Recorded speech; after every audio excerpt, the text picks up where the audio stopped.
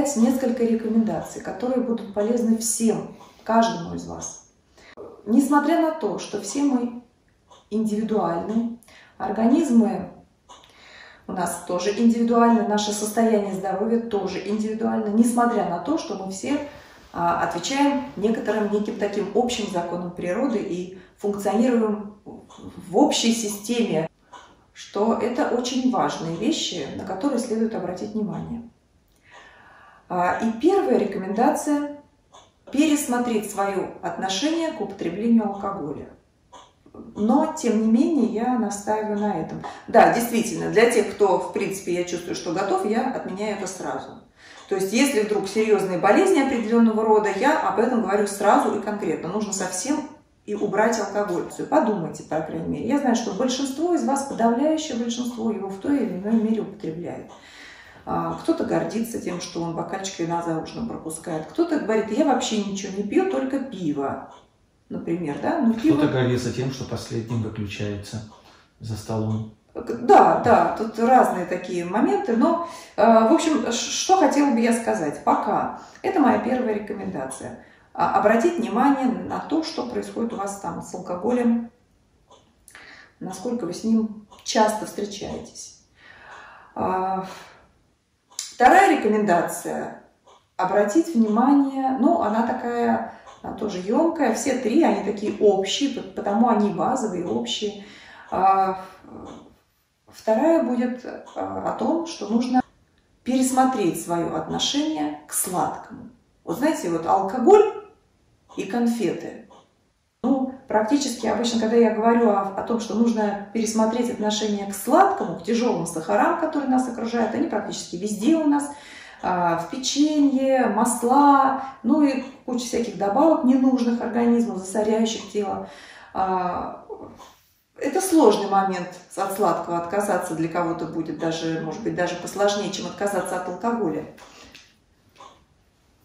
Для, для Лени, да, он любит сладкое. Но, например, а, знаете, карантин, он повлиял на нас очень положительно, потому что, я тут пару слов скажу про Леонида, потому что он э, не так часто бывает дома, он обычно в поездках, приезжает домой, немножко побыл дома и уехал. И он как бы не имел возможности увлечься, вот так вот увлечься этой философией. Но я могу сказать, что вот мы в карантине с 16 марта. И с 16 марта никакого пива у нас в доме нет. Нет, правда, уже больше месяца. Э, больше месяца, да. Этот организм не впускал в себя да, ни, капли, ни капли алкоголя. Не могу сказать, что я... Как будет я, дальше, я, да, нет, нет, я могу сказать, что я вообще не могу, конечно, назвать себя даже увлекающимся алкоголем. То есть, ну просто... Ну, Леонид не может так из всех, из всех а напитков а алкогольных, которыми я себя баловал в последнее время... Это пиво. Это пиво вечером за ужином, да, если, это не каждый день, но если это алкоголь, то это пиво. И иногда в качестве аперитива я мог позволить себе Джек Дэниелс, мой любимый, смешанный с ужасно вредной Кока-Колой, но я люблю его именно с Кока-Колой. Э, два кусочка льда и кусочек лимона. Сахар. Кока-кола да. это сахар. Очень большой процент сахара. Ну, опять же, поскольку это вот, вот такое количество, смешанное с виски, бокал, то есть это, это весь алкоголь, который уже долгие годы, на самом деле я прошел все этапы. Начиналось все с десертных вин в молодости, потом был период уже классики сухой и белой красной, потом долгий период был коньяка, потом, как и положено с возрастом, гормональный фон позволяет ощутить уже прелести виски, напитков взрослых людей, поэтому он сейчас из крепких напитков у меня, но в таком смешанном виде присутствовал, и пиво, мое любимое, не буду рекламировать, немецкое, но в любом случае уже больше месяца, а, как я этого не делаю, находясь вот в этой самой изоляции. И могу сказать, что мне лично, вот моему сознанию, справиться с этим не представило труда. За что, в общем-то, я себе ставлю хорошую оценку. Да, ты молодец. Но по, по моим меркам, так это как раз наоборот, соприкосновение с алкоголем было большим, по моим меркам. Вот, ну, учитывая, что я вообще к нему не прикасаюсь, для меня это а, было много. Ну, не, но... пугай, не пугай наших зрителей. Да, нет, нет, конечно. Я, я вообще ягненок, я просто Ну. младенец в количестве потребляемого алкоголя. Тебе просто повезло не иметь дела с людьми, которые действительно... Это правда, это алкоголь. правда. Знаете, даже я сейчас вспоминаю а, в период, когда вот мы много учительствовали, или они сейчас, для нас всегда было... Вы знаете, насколько дома а, стоит бутылок с алкоголем?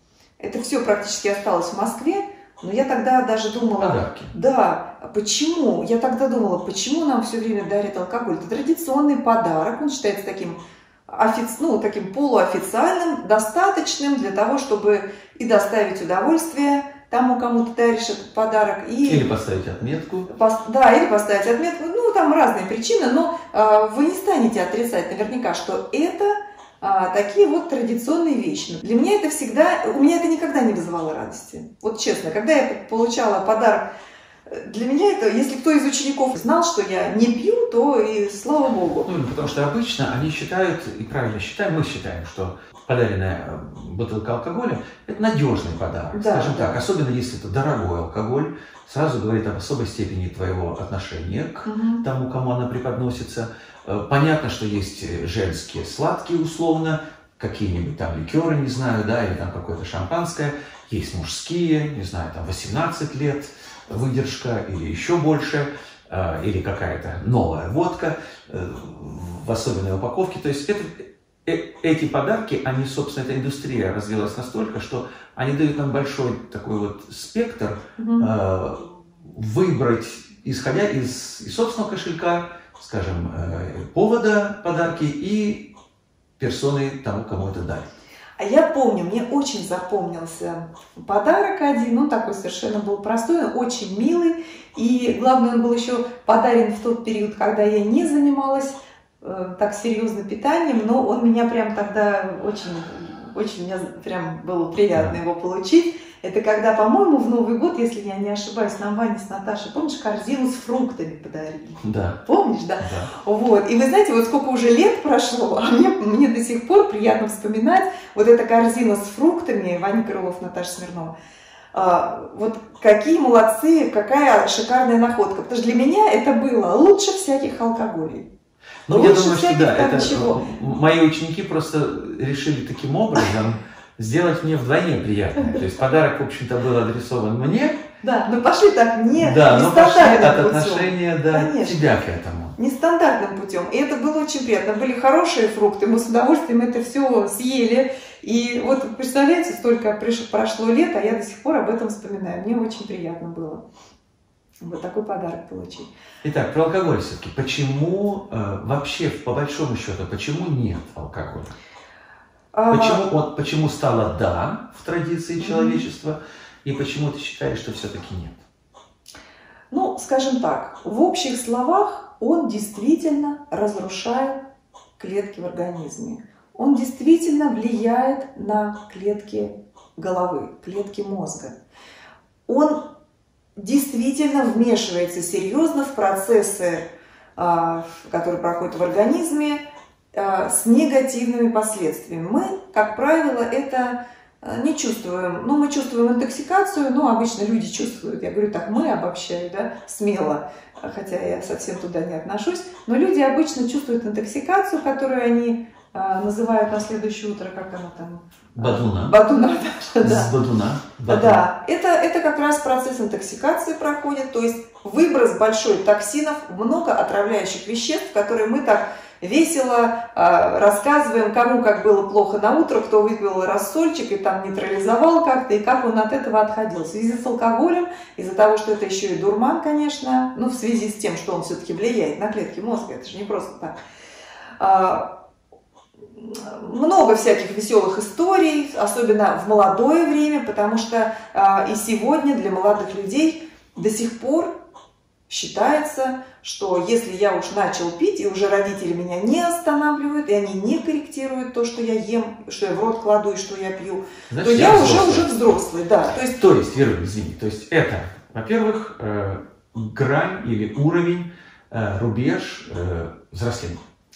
Второе, еще, по большому счету, да, алкоголь да. в принципе употребляется, по себе могу сказать еще по молодости, Ну, говорят, чтобы расслабиться. Расслабиться, чтобы рас- да. То есть алкоголь расслабляет. Что значит расслабление? То есть он отключает какие-то контрольные центры в нашем сознании, снимая наше внимание, Да-да-да, то да, есть переключая наше внимание с какой-то там, не знаю, Мгм. важной задачи или проблемы, которая в голове есть, которая обычно каким-то му- способом мучительно на нас действует или кажется нерешаемой, то есть концентрирует нас на себе настолько, что мы начинаем себя плохо чувствовать, поэтому надо расслабиться. Да? Да, но То есть вот эффект расслабиться какой расслабления. ценой, Да. да. Вот Мы вопрос о какой цене ценой. вообще ничего не знаем. Не знаю. То есть мы совершенно несерьезно относимся к тому, что с нами на утро происходит, так вот посмеявшись, а потом Извини, еще можно сказать, что если меня беспокоит больной палец, вот он меня бес- беспокоит, реально, даже пуговицу не могу застегнуть, Ну, да? можно, да, да. то прост- самый простой способ взять просто и, и отсечь его, да, и, и вообще решить эту часть тела, Ну, или как выпить, отсутствует, например. подожди, нет,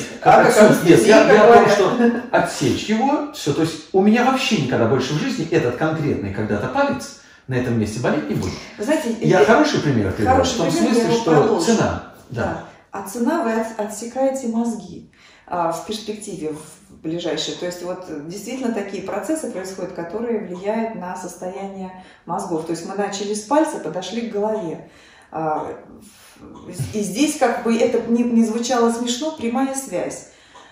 А, Поэтому Ну, понятно, что воздействие алкоголя и вот это вот расслабленное состояние, это отключение, это эйфория в какой-то... Понятно, что это реакция с нашего мозга. да, да. Что с ним происходит? Понятно, что она не Да. решает проблемы. Понятно, что она решает, она всего лишь оттягивает это до утра с еще большими последствиями. То есть проблема-то все равно не Девочка, я не буду сейчас рассказывать химию, что с ним происходит. Я просто хочу вспомнить эту лекцию. Эта лекция меня просто покорила своей простотой объяснения э, вреда алкоголя, о котором слышал с детства, при этом позволял, я же его не чувствую, или немножко. А тут просто конкретно было сказано, что имейте в виду, когда утром после принятия алкоголя вы идете в туалет, то в унитаз сливаются ваши мозги. Вот я прям эту фразу запомнил э, ну, теперь, наверное, уже навсегда. Потому что а, отмирание клеток от воздействия алкоголя происходит в мозгу, то есть нарушаются их связи. От этого, собственно, и происходит потеря контроля сознания, та самая эйфория или расслабление, о которой мы говорим. То есть у человека с координацией становятся проблемы, с речью начинают быть проблемы. Это потому, что гибнут клетки от воздействия алкоголя в сознании. Если принять много, их погибнет много. Дальше, на утро, к утру точнее, или после этого организму нужно себя очистить. Нужно очистить. Поэтому голова накачивается большим объемом жидкости из тела, э, туда направляется эти- э, э, этот объем жидкости для того, чтобы вымыть эти мертвые клетки. Это вот, ребята, ситуация, как в лекции в этой было сказано, вот этой болящей утром головы. Потому что ее вот раскалывается голова, потому что в нее сейчас идет огромная закачка объемов жидкости для вымывания этих мертвых клеточек нашего мозга. А после того, как они оттуда этой жидкостью вымылись, понятно, что через мочеиспускательную систему, они уходят в унитаз. Вот что имелось в виду буквально в объяснении этого профессора. Меня Леонид даже сейчас удивил, что он эту лекцию он слушал очень давно, я давала ему давно, потому что я а, кому-то из клиентов ее тоже давала. И вот она сложилась в копилку. Ну, собственно, как, наверное, многие из вас, вы находитесь сейчас в такой ситуации, когда у вас вот эта копилка накапливает информацию, а, и как только она будет полна, так вы будете готовы принимать какие-то решения в этом направлении. А, а до момента, пока это не произошло, конечно, мне очень хочется это всегда ускорить, но я понимаю, что люди есть люди, и э, вот эта копилка, она у каждого разного размера, и каждому требуется больше или меньше информации о том, почему это плохо и почему это нельзя. А, А немножко? А как насчет немножко? Ну, чуть-чуть. Это, знаете, как немножко беременная. Я, конечно, такой банальный пример привела, но я просто часто а, помню, я вспоминаю о том, что эм, когда последние сроки беременности уже, и нужно контролировать свое состояние, чтобы не получить отеки, я помню, что доктор говорил исключить соль. И я помню, что практически все пациентки говорили, ну я ем соли очень мало, вот очень мало ем. Ну что я ее ем? Ну, чё, а иногда я и не солю еду. Но никто не задумывается о том, что практически все в супермаркете, что мы относим, что я отношу по моим меркам корму, оно обязательно содержит соль. Хлеб содержит соль. Консервы тоже содержит соль. Вот вроде бы она там не должна быть, а она там тоже есть. То есть очень во многих продуктах, и вы даже когда готовите что-то дома, вы очень часто можете смешать, например, для приготовления там сырников и соль и сахар. Мы подсалимся, хотя мы вроде сладкий продукт готовим, но мы э, соль и сахар. Ну, соль, в общем-то, э, нам не страшна, на самом деле, она нам нужна. Я привела такой пример – что значит немножко? Я почти ничего не ем. Или, как Леонид говорил раньше, я же не пью почти ничего, но чуть-чуть я там э, выпью немножко а, за ужином что. То есть это, э, я, например, его никогда не видела в состоянии опьянения, чтобы он был не в себе, там как-то такого не бывало никогда. Молодец. Да.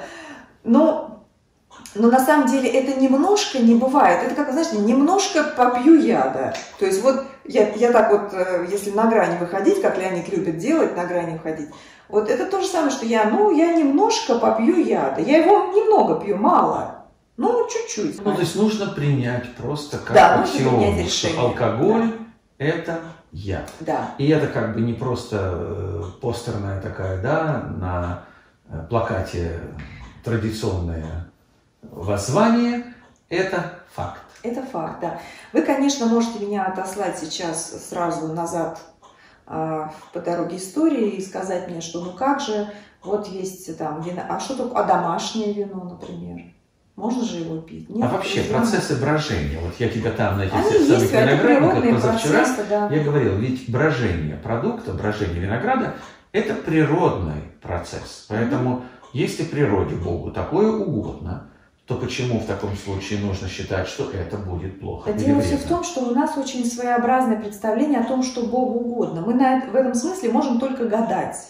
Мы э, в силу того, что я уже говорила о том, что э, человек ограничен своими человеческими инструментами, восприятием человеческим. Везде применимо вот это слово человеческое мышление, человеческое восприятие, человеческие чувства. Это слово не стоит забывать, его стоит всегда вставлять, когда мы говорим относительно а, людей и системы, в которой мы живем. Ну, кто как это называет, он называет Богом, природой, а, еще как-то. Экосистема. Да, ну, да, да. Случае, то, что нас окружает, да, мы в нем. В чем мы, мы, мы, конечно, пытаемся, и наука у нас э, развивается, мы, конечно, пытаемся больше понимать а, больше знаний иметь о нас самих и о том, что нас окружает, но, к сожалению, мы действительно ограничены вот этим нашим человеческим во всех наших действиях и во всех наших взглядах. Как это бы не грустно звучало. И, наверное, кто-то из ученых мне скажет, нет, мы можем там. Ну, ученые и должны так говорить. Они должны именно так подходить, что если они будут подходить с идеей ограниченности к тому, что они исследуют, то они, конечно, ничего не откроют, потому что они должны, как, как настрой, иметь то, что мы выйдем за какие-то пределы, и тогда они смогут сделать открытие. Ну, просто очень часто почему-то в популярных объяснениях mm-hmm. или в популярном понимании наук э, вот это вот победить природу, помните, Мичуринская там и, и других, почему-то подчинить да. себе, всегда предполагало вот это выставление себя в главенствующей роли выше природы, забывая, что любое открытие, которое мы делаем в нашей жизни, это всего лишь природное открытие. Это открытие очередного природного же рубежа, который просто до сих пор нам был недоступен. А теперь мы дошли своими мозгами до возможности его осознать. Итак, все-таки, почему брожение, естественное брожение, скажем, того же винограда или, не знаю, какой-то злаковой культуры, из которой получается алкоголь, Почему это для нас нехорошо? Ты мне тогда на винограднике сказала, что это хорошо для переработки ягод винограда. Ну, не для еды, да. Или да, для Но того, для чтобы они, опять же, это природный процесс. Природный процесс по переводу ягод да. уже в землю опять, в перегной, в удобрение, в да, этот да, природный да, цикл. Да, да, да, природный цикл, очень важная вещь, потому что все, что упало на землю, оно все туда и возвращается. Как раз через вот эти вот брожения. Но когда это постоянно происходит в организме, а у вас в организме это постоянно происходит, вы это можете замечать, и периоды, и процессы брожения, и процессы гниения, когда вы идете в туалет, вы сразу, да даже, ну, скажем так, а, в период до похода в туалет вы можете у себя зарегистрировать моменты брожения, когда вы туда пойдете, вы можете полную картину о том, что происходит в процессе гниения получить. Вот, поэтому ни тот, ни другой э, вариант нам здоровья не добавляет. Совершенно не должно в организме этого. Мы не должны добавлять туда извне еще к тому, что мы не, имеем с неправильной едой. А, ну, надо сказать, что, конечно, наша традиционная еда, она, а, ну, в силу того, что она долгое время с нами, мы кушаем таким образом долго, она повлияла на а, микробиом, на микрофлору, микрофауну даже, да, а, нашего желудочно-кишечного тракта полного, не только кишечника вот, с выработкой определенных э, микроорганизмов, которые должны помочь в переработке пищи, которую мы им поставляем.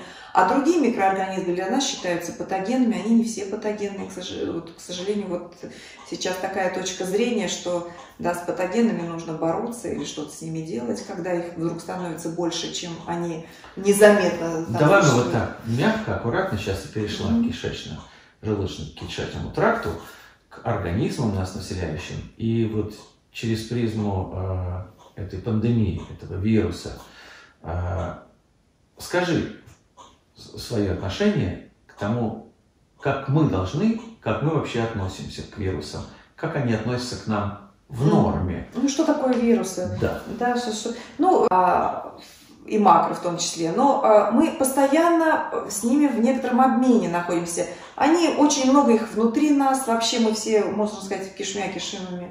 Они же и снаружи, и кто-то проходит и уходит, кто-то остается, кто-то остается и чем-то нас поражает, а, а кто-то остается. Да? да, да, симбиоз это как раз вот взаимовыгодное сотрудничество, но а, с кем-то мы находимся в симбиозе, а кто-то паразитирует на нас, так как мы, мы на природе вообще паразитируем просто безгранично. Я даже, а, мы не, никогда себя не относили к природным паразитам, но это так.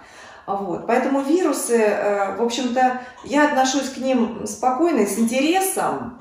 И могу сказать, что вирус все-таки нам задает, вот если взять вот эту риновирусную инфекцию, она задает нашему организму некоторую тренировку, необходимую для того, чтобы организм очищался.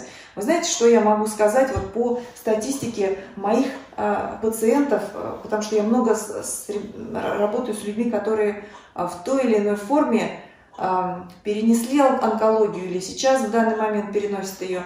И я могу сказать такое наблюдение свое интересное, что а, очень многие, даже большинство подавляющих людей, они говорят о том, что, что для них это удивительно, почему так случилось, ведь я никогда не болел, говорят они. Ведь я был всегда здоров, у меня был всегда крепкий иммунитет, и даже а, там ОРВИ, а, там простудные заболевания любого рода ОРЗ были совершенно э, для меня редким явлением. И ничего особенного за всю жизнь со мной не случалось, и вдруг бабах, у меня случился рак. Он как раз э, говорит о том, что не было достаточно за время до ракового вот этого периода вот этих вот чисток, очисток, которые вызываются вирусами как раз. А, То есть жить без болезней это не есть хорошо. Да-да, а, очень хороший момент, потому что а, люди обычно стремятся жить не болея. Ну, по крайней мере, да. Это считается как показатель здоровья, это отсутствие болезни. Ну, как а правильно, обычно я говорю, что болезнь, болезни рост. Есть болезни, которые тяжелые нас калечат, а есть болезни, которые нас тренируют. Ну, сюда вот я ОРВИ бы как раз и отнесла. Болезни, которые вызовут а, сильный насморк, болезни, которые вызовут кашель. Что это а, буквально значит? Насморк, кашель? Буквально, да, вот буквально значит, что насморк выходит слизь из организма, которая на самом деле вытаскивает не только то, что развилось в связи с тем, что там вирус начал действовать в организме, да, а и то, что в здоровый период, как слизь там отложилась, вследствие еды, воздействия других вирусов, которые через нас прошли незаметно, тоже свой след оставили, а мы этого не в курсе, не знаем. Которое что-то закрывало, что-то Да, да, то есть да? Э, в теле Создавало все равно... среду для развития чего-то ну, другого. Да, нужно понять, что живой организм, он, он таков, что он в любом случае, даже будучи в здоровом состоянии, но это всегда субъективное состояние, мы на него тоже, конечно, ориентируемся, когда работаем с пациентами, но а, это субъективное состояние, мы об этом не должны забывать, потому что когда вы скажете, что я здоров, никогда не болею, я здоров как бык и так далее, в этот момент, прямо в этот момент у вас все равно идут процессы а, там утилизации ненужных веществ, утилизацию не всегда наружу, а иногда это так и задерживается в организме. То есть организм в этот момент, пока мы умничаем, он работает а, в своем духе, и он что-то использует как полезное, что-то бесполезное выводит, что-то не удается ему вывести, что-то э, вызывает накопление слизи, а, которая сейчас, потому что вы здоровы, она не выходит. Она выйдет тогда, когда в организм попадет очередной вирус и а, устроит вам сможете... очередной насморк, да, с которым, ну, как кажется, в момент, например, э, для вас, э, ну, когда вы наиболее восприимчивы к тому, чтобы он начал там что-то делать, вот, и он начнет вот с этим насморком, э, он вызовет насморк, который, конечно, в первую очередь по его причине начался, но он в, в, в том числе и потянет за собой вот эти залежи, которые мы ну, не чувствую в здоровом состоянии, хотя они, я говорю, опять же, они постоянно накапливаются в здоровом состоянии в организме. То есть нужны, скажем так, периодически, как мы убираем квартиру, я правильно понимаю? У нас всегда двухразовая уборка в квартире, да? Э, я уже не говорю о том, что у нас всегда открыты окна, что спим мы всегда с открытыми окнами, мы дети. А, вообще для нашей семьи вот эти вопросы гигиены, э, которые сейчас так остро встали для угу. всех, они для нас на самом деле э, всегда были нормой. Чему Верочка приучила наших детей, первым делом, заходя в квартиру с улицы, мыть они руки идут и переодеваться, мыть да. руки и переодеваться. То есть одежда, в которой вы были там, то есть вот коридор в квартире, это как та самая вот тамбур, сейчас показывают эти вот э, инфекционные больницы, вот этот вот тамбур между зеленой и красной зоной, в которой происходит переодевание. Идя mm-hmm. туда, снимаешь обычное, одеваешь защитное, возвращаешься с красной зоны, снимаешь защитное, чтобы не при... одеваешь обычное, чтобы... то есть у нас есть одежда для улицы, всегда у всех, у нас есть одежда как для дома для улицы, и есть да. одежда для сна. И это не просто потому, что так модно. Я себя вспоминаю раньше до встречи с тобой. А, такого вот разделения буквального, таким, с таким пониманием у меня не было. Я мог прийти вот в джинсах и до вечера проваляться ну, в диване, не знаю, одеться детям, пледом, да. да, особенно детям там, да, mm-hmm. перевернуться через диван, посидеть в кресле, поужинать, ну и так далее, то есть и, и переодеться только ко сну. А то и не переодеться, знаешь, что-то меня ломает а сегодня, помыться, да, и а и не помыться, и душ не принять, например, да. да. То есть вот э, с этим человеком все стало на свои места. И теперь мне абсолютно понятно, мне понятно, главное, почему это нужно делать.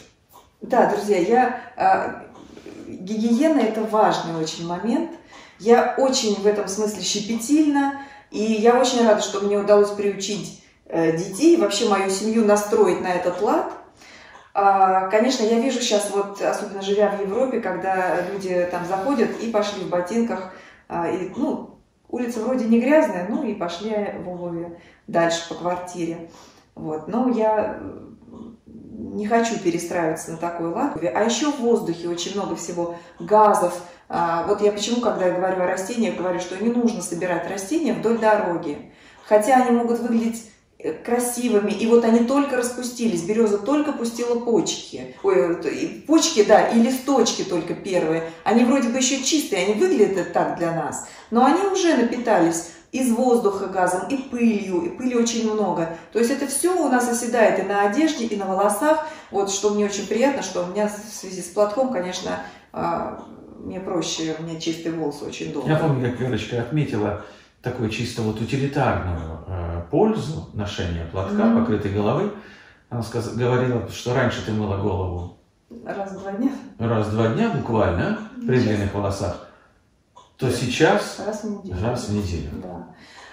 Вот, ну, то есть, действительно, волосы, ну, все знают, что волосы впитывают запахи, но они также впитывают грязь. Почему сегодня очень много комических ситуаций таких, я вижу в интернете фотографии, когда, например, человек, а сегодня очень модно борода, и люди очень много с бородой, хотя, знаете, борода это для, для меня, по крайней мере, символ мужественности такой, который, там, я не знаю, забьют дикого зверя, но сейчас это больше с кремом для рук как-то ассоциируется, не знаю. Ну да, с утонченными, с, с да, да, на пальце, да, это, конечно, тонкими, тонкими пальцами, да, да. и с, с бородой лесоруба. Это, это, конечно, да. жалко. Или, или в брюках, как мы с тобой всегда да. не можем понять, да, вот эти вот обтягивающие практически колготки э, мужчинах, да, и, в общем-то, это совершенно для нас это вообще отдельная тема. Не мое время сейчас. Да. У меня проблема купить себе джинсы э, не обтягивающей формы. Продавцы в магазинах разводят руками, пожимают плечами и говорят, вот все модели, да. все модели такие. Ленечка, да. я хочу вернуться а, к тому, с чего мы начали. А начали мы с общих рекомендаций, которые я вам собиралась все сегодня огласить. А, первые две я уже обозначила. Первая была а, разобраться с алкоголем, а для а, уже стоящих на этом пути просто прекратить пить алкоголь в любом виде. Вторая рекомендация была по поводу сладкого. Это не просто ограничить сладкое, а настолько серьезно ограничить сладкое, что, наверное, в сознании человека это будет практически себя его лишить. Ну, наверное, это, вот это искусственное сладкое. Искусственное, да? тяжелых сахаров, конечно. Фруктозу вы все равно будете получать из э, овощей и фруктов. фрукты, не знаю, финики сладкие. Да, условно. финики вам пока... Там... Как только вы ограничите э, поступление тяжелых сахаров в ваше тело, вы, конечно, совершенно по-другому начнете чувствовать вкусы. Это совершенно перестройка пойдет вкусовая. А, поэтому я, ну, это вот важный момент. Ну, просто сахар, тяжелый сахар, его избыток сейчас в организме, к сожалению, он очень влияет на состояние здоровья, он очень влияет на возникновение и развитие заболеваний, которые, может быть, даже генетически заложены, а такое поступление сахаров тяжелых, оно, в общем-то, может пусковым механизмом служить. Ну и я хочу все-таки сюда, в копилку, третий пункт обозначить. О нем тоже вы будете думать, и он тоже такой, не, требующий неоднозначного подхода. Это э, мясные продукты, особенно переработанные мясные продукты. Я, в общем-то, когда говорю о мясе, я имею в виду мясо, которое уже приготовлено каким-то образом для нас. Я не имею в виду мясо только что забитого животного, из которого свеже сделаны шашлыки, например. Ну, такой у нас возможности нет, если кто-то специально не живет рядом с фермой. с фермой, да. Ну, и здесь уже этические моменты встают, которые тоже мне не чужды. А, я, в общем-то, считаю, что это не полезный продукт, в целом его можно убрать. Но если вдруг э, внутри что-то еще восстает против этой идеи, недостаточно аргументов или там недостаточно информации обычно, а, я советую все-таки распрощаться с, с колбасами. Когда мы приходим в супермаркет, у нас огромный отдел колбас, и мы всегда проходим мимо, да. Там такое изобилие всяких копченых вкусностей и прочего чего. Вот. Но э, я могу сказать, что а, после отказа от этой части продуктов моя жизнь не изменилась вообще в худшую сторону, а напротив, вкусовые горизонты расширились. И оказалось, что как много всего другого интересного. И я могу сказать просто по своему личному опыту, я правда подошла к этой мысли очень осознанно, очень взвешенно, не, не там, не с бухты-барахты, а уже обладая информацией, которая вселила в меня достаточно уже убежденность для того, чтобы этот шаг сделать.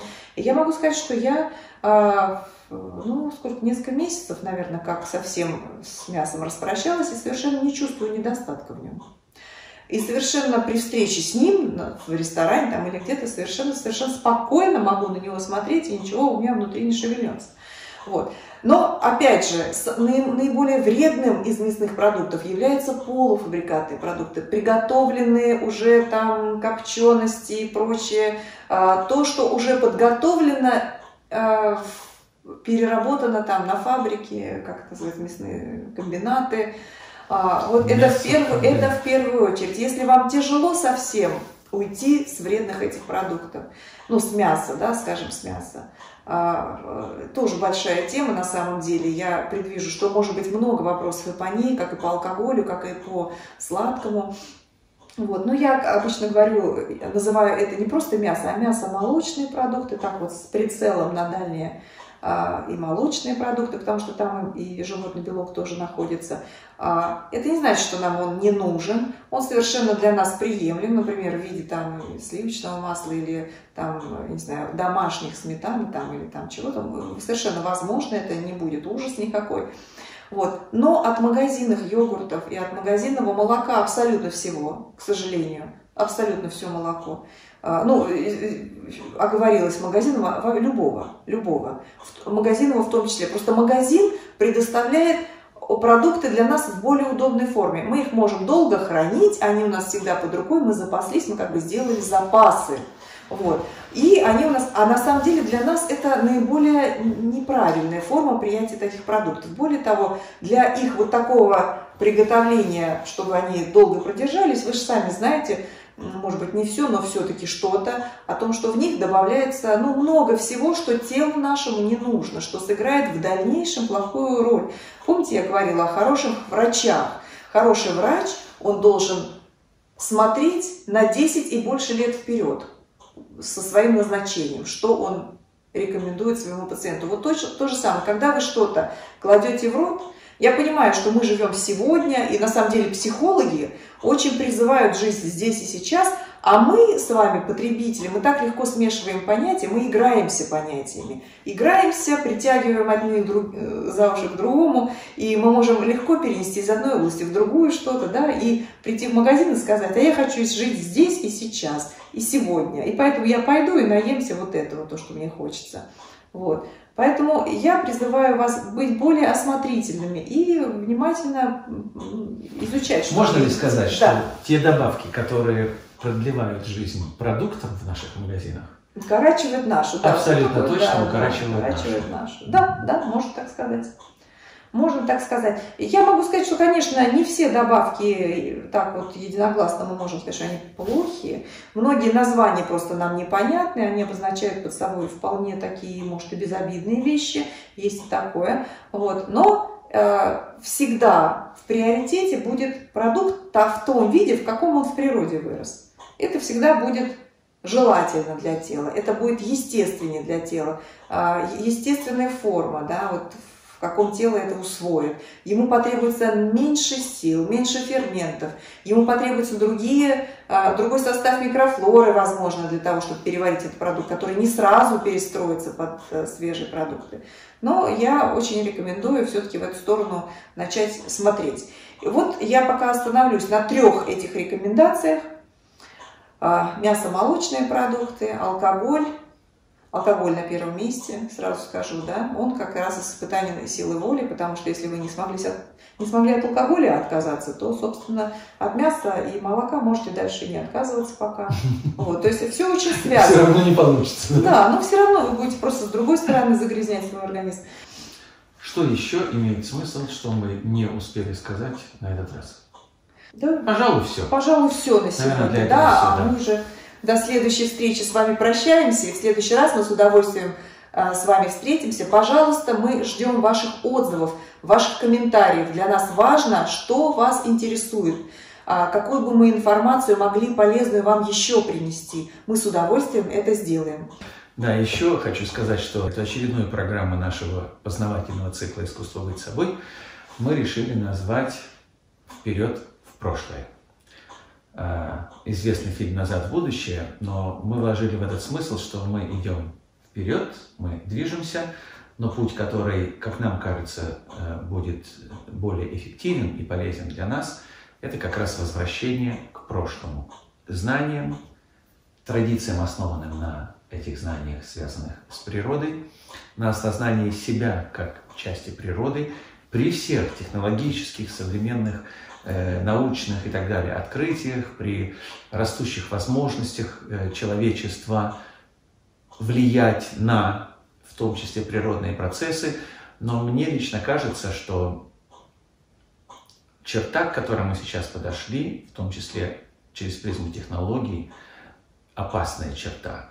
И заходя за нее, Очень получила инструменты, да, внедрения уже, что называется, в природный Божий промысел, человечеству нужно очень-очень и очень сильно думать, совершая каждый следующий шаг. Мы подошли к таким тонким материям, к материям настолько сильно э, могущих изменить нашу жизнь как вида э, в природе, угу. что с непредвиденными последствиями опять или, по крайней мере, когда мы говорим о будущем, заметьте, и сейчас это особенно актуально, есть время смотреть в этот ящик и поднимать фильмы, и в интернете полно рекомендаций, и «Заражение», 2012, и много, можно перечислить названия этих фильмов. этих фантастических и Орелла, а, они все не о хорошем, ребята, это будущее не о хорошем. Мне все время вспоминается на этот счет анекдот, очень такой, один из моих любимых, когда э, встретилась компания, один говорит, знаете, ребят, вчера был на концерте группы э, «Гости из будущего». Все говорят, ну, ну и как, ну, ну и как, вы знаете, говорит, хреновое у нас будущее. Вот э, мы сегодняшние, глядя на эти фильмы фантастического завтра, к сожалению, получаем, иногда они, увы, очень точно сбываются, о чем сейчас тоже многие говорят, это, собственно, отдать должное гению этих самых фантастов-писателей, которые э, на том уровне, на том времени, на той информации, когда они э, эти свои произведения писали, смогли так уже проанализировать, так предположить и так э, точно заглянуть в это самое будущее, что, честно говоря, мурашки по телу. Поэтому, если мы хотим на этой планете жить, если мы хотим жить с этой планетой в мире, лучше смотреть фильмы типа «Аватара», где побеждают как раз те, кто э, в миру с природой. Где наши побеждают. Где наши, где наши побеждают. Э, спасибо за внимание сегодня. Мы будем появляться теперь регулярно э, и будем делать наши эти встречи, э, в отличие от всех, которые прошли до сих пор, четырех нашего цикла, где мы встречались в зале вживую, и поэтому формат был двухчасового общения – Сейчас э, перенасыщенная интернет, новостная лента, э, время, и поэтому такой формат вам явно не пойдет, но, может быть, только некоторым близко знакомым с нами. А так, в общем-то, нужны короткие флеши, да, впрыски, да, поэтому да. мы, мы будем не мы будем вас да, но мы постараемся делать эти, да. эти наши встречи сейчас более короткими, компактными, но такими. То есть тема будет одна, но несколько эпизодов. Спасибо и до скорой встречи.